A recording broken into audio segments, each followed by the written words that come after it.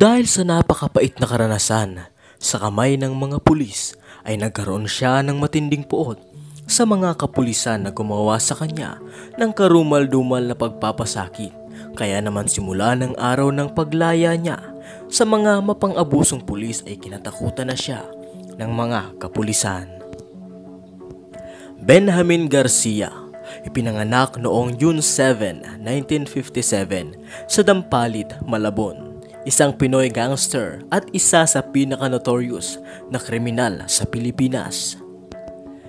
Mula ng pagkabata ay nagdanas na siya ng kahirapan sa buhay kaya naman pinasok niya ang isa sa pinakadelikadong gawain na magpapahamak sa kanya. Dahil nga sa kahirapan ay pinasok ni Ben ang pagiging snatcher. Pinasok niya rin ang pangho-hold up at di nagtagal ay nagkaroon siya ng mga kasama at naging hawak na nga siya ng mga pulis. Inuutusan siya ng mga pulis na magnakaw ng mga sasakyan saka ito bibilhin sa kanya.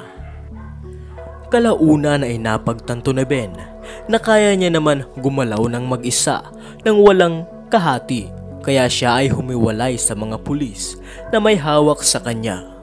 Kaya naman mula ng araw na yon ay naglakad na siya ng mag-isa. Di nagtagal ay nakilala ni Ben ang babaeng magpapatibok ng kanyang puso. Nagkaroon siya ng asawa at isang anak. Magmula ng araw na yon ay napagtanto ni Ben na magbagong buhay na at iwan na ang masamang gawa kaya naman agad na naghanap ng trabaho si Ben. Makalipas ang ilang araw ng paghahanap ng trabaho ay nakatagpo siya sa wakas ng mapapasukan. Si Ben ay nagtrabaho bilang isang stuntman sa ilang pelikula subalit di kagaya ng mga sikat na aktor ang kinikita ng isang stuntman. Sa madaling salita ay maliit ang kanyang kinikita kapalit ng mahirap na trabaho kung saan ay siya ang gagawa ng mga bagay na hindi kayang gawin o delikadong gawin ng mga bida. Tulad na lamang ng pagtalon sa matataas na lugar, pagtumbling, at ang magpagulong-gulong. At ang pinaka nakakalungkot na role ay ikaw ang babarilin sa pelikula kung saan ay kasabay nun ang katapusan ng trabaho mo sa pelikulang yon. Kaya naman panibagong hanap ka na naman ng pelikulang mapapasukan. Balik tayo sa kwento kaibigan. Pagkatapos nga ng kanyang trabaho bilang stuntman ay binansagan siyang Ben Tumbling. At dahil nga kulang ang kanyang kinikita sa kanyang trabaho ay bumalik siya sa kanyang dating gawain. Dito ay kumikilos na siya mag-isa at dahil nga ayaw na niya sumunod sa mga pulis na may hawak sa kanya, ay nagplano ang mga ito kung paano tuturuan ng leksyon si Ben. Isang gabi, napakatahimik ng kapaligiran. Habang naglalakad si Ben ay may biglang humintong sasakyan. Agad na bumaba ang mga pulis na sakay nito at bigla na lang hinuli si Ben. Nang gabing yon ay mangyayari ang karanasang hindi niya makakalimutan. Pagdating sa lugar na pinagdalhan sa kanya ng mga pulis na humuli sa kanya, ay inumpisahan na ng mga ito ang pagpapahirap kay Ben Bukod sa madalas na pangbubugbog ay pinupuntirya din ng mga mapang-abusong pulis ang maselang bahagi ng kanyang katawan. At hindi lang yun, dahil pati ang kanyang asawa ay nagkaroon din ng madilim na karanasan sa kamay ng mga mapang-abusong pulis. Di naglaon ay nakalaya si Ben sa kamay ng mga mapang-abusong pulis dahil nga sa napakapait na karanasan sa kamay ng mga pulis ay nagkaroon siya ng matinding puot sa mga kapulisan na gumawa sa kanya ng karumal-dumal na pagpapasakit kaya naman simula ng araw ng paglaya niya sa kamay ng mga mapang-abusong pulis ay kinatakutan na siya ng mga kapulisan.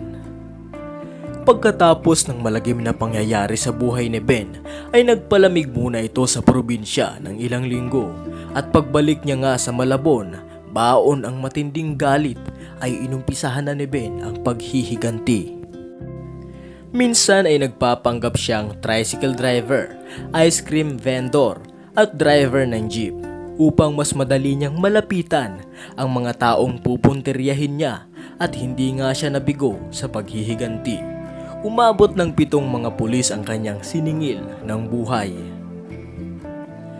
Pagkatapos ng mga araw na yon ay mas lalong naging mainit si Ben sa mata ng mga pulis. Subalit dahil napakailap nito ay bigo lagi ang mga pulis na mahuli si Ben. Isang araw ay nagtungo si Ben sa isang bar upang magwalwal at doon ay nakilala niya ang isang babae na muling magpapatibok ng kanyang puso. Mula sa kwentuhan ay nagkapalagayan ng loob ang dalawa hanggang sa nagkaroon nga sila ng relasyon. Ilang linggo ang lumipas ay may nakatunog na madalas si Ben sa bar na yon. Kaya naman nagsagawa ng surveillance ang mga pulis subalit bigo sila na mahuli ang mailap na si Ben. At dahil may nakapagsabi sa mga kapulisan na mayroong isang babae ang laging katable ni Ben, ay kinausap nila ito at binigyan ng malaking halaga kapalit ng pagtulong sa mga kapulisan na matugis si Ben. Dumating na nga ang araw ng pagtatagpo ng dalawa. Ang hindi alam ni Ben, ayun na ang kanyang huling araw. Sa lugar na pinagtagpuan ng dalawa ay biglang dumating ang mga kapulisan at walang habas na pinaputukan si Ben at doon nga ay binawian siya ng buhay sa edad na 23 anyos. Ayon sa nakatatandang kapatid ni Ben, hindi daw pulis ang nakapatay kay Ben, kundi ang kanyang sarili dahil sa mga salitang binitiwan nito nung nabubuhay pa na mas gugustuhin ko na lamang magpakamatay kaysa mapasa kamay ng mga pulis. Yan ang mga salitang sinabi niya. Nagulat ang pamilya ni Ben dahil sa dami ng tao na pumunta sa kanyang burol dahil na rin siguro sa kanyang pagiging likas na matulungin sa kapwa. Kaya naman dinagsa ng mga tao ang burol ni Ben.